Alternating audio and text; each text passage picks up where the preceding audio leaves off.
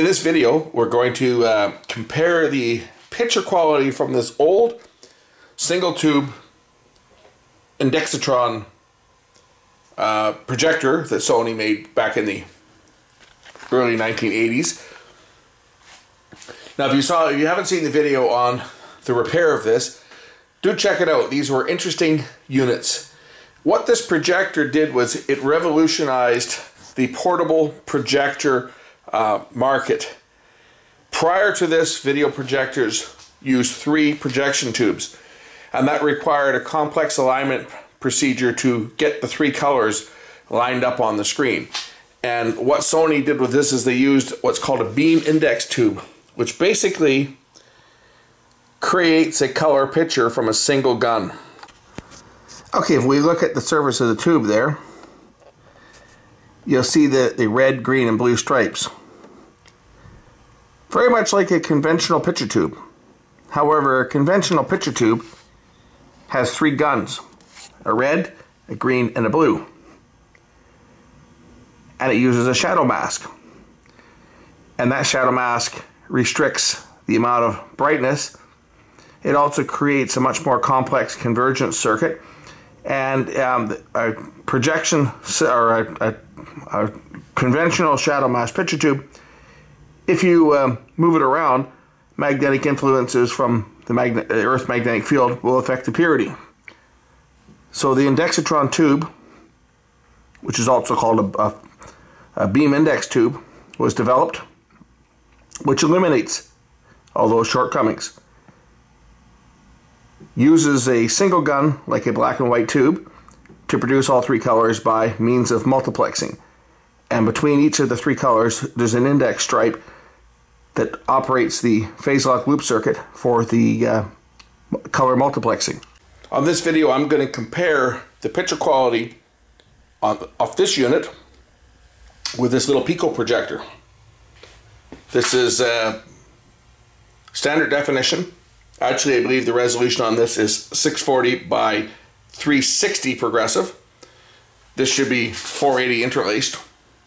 We're going to compare the relative picture quality from this CRT projector to this mini DLP. And we're going to do it using this high gain screen, which is the actual screen that's part of the Vitamagic system.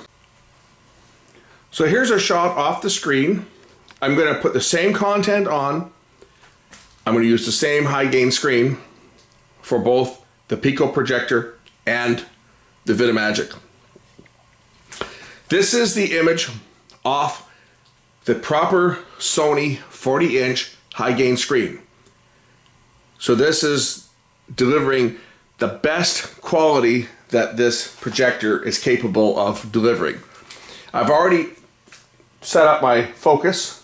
There's a focus control on here that we can set the focus to the sharpest that we can get it. I think I've got it pretty darn close to being perfect, as sharp as this thing's going to go anyway. So there's the picture off the high gain screen. And I think if I move my camera a little bit higher, eh, because when I when I kneel down to the height of the camera, the screen actually gets a bit dimmer. So I'm just going to raise the camera up a bit so we can get optimum brightness. Because off these screens, they have a relatively narrow angle of vertical view. These high gain screens are designed to be used in rooms that have got some ambient light.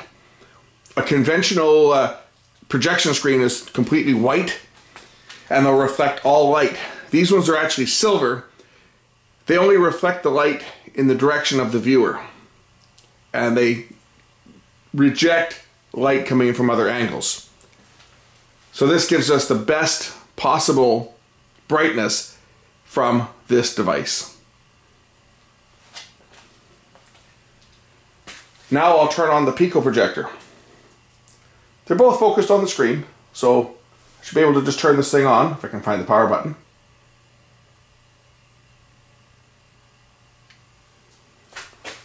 Ah, just a little bit brighter.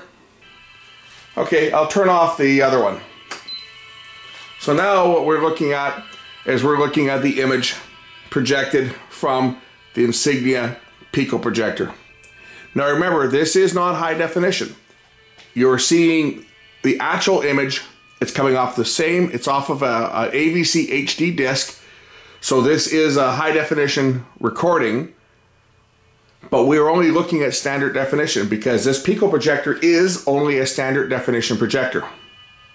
These videos I'm showing here, this is just some stuff that I downloaded off of YouTube, so I'm hoping that we're not going to get any problem. If, if I have a problem with this, I'll upload it and I'll just invert the picture. I'll re-upload it and invert the picture. But uh, anyway, this gives you an idea of how much better this Pico projector is than the Vitamagic.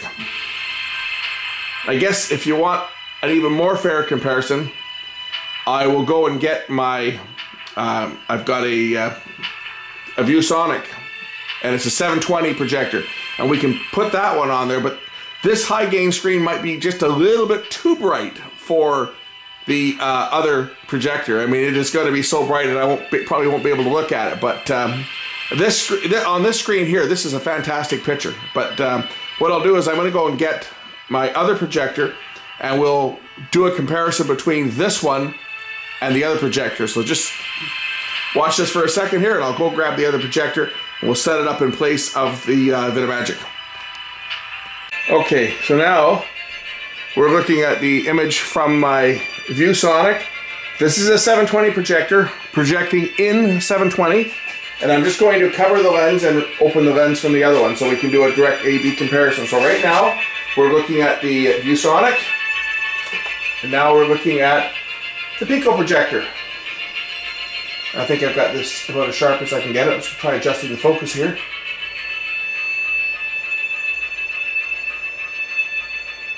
So there's the Pico projector. And we'll switch back to the other one. And there's the there's the ViewSonic.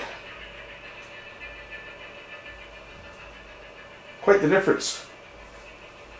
So here's the Pico projector. Doesn't look bad.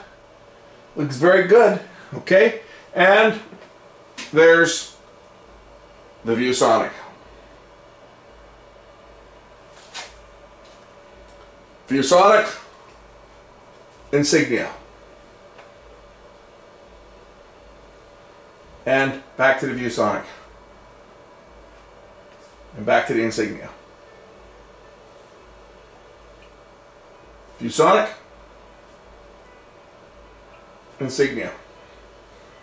There's the difference between the 720, this is the 1280 by 720 projector, DLP 640 or that that's the 640 projector. 640 by 360 this is the little pico projector the LED pico projector and that's my higher end. It's not new it's old but it's a 720 a 1280 by 720 projector.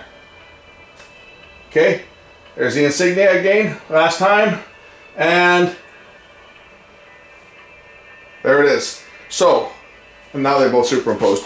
So I hope that gives you an idea what the difference in the quality of, of the unit is. Um, this unit here is perfectly acceptable for, for projection. If you need to get a, you know, need to do something off of a smartphone or something, and you don't need a huge screen and you don't need a lot of brightness, you're in a dark room, hey, this works perfect. I uh, have the thing projecting on my ceiling in my bedroom and I use it to watch stuff in bed. It's great. I'm only watching on about a 45 inch screen. That's about the distance I get from about the same distance, a little bit bigger than what I see here. But you know what? This, the unit is completely silent, uh, and uh, it, it certainly is definitely watchable.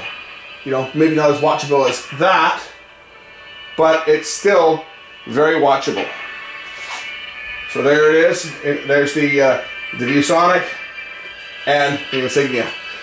And that's, uh, I'm going to shut this one off now. There's the button on here to turn it off comes up with a nice little message when I'm shutting it off. Okay, off and back to the other one. Thanks for watching and we'll uh, catch you in the next one. Bye for now.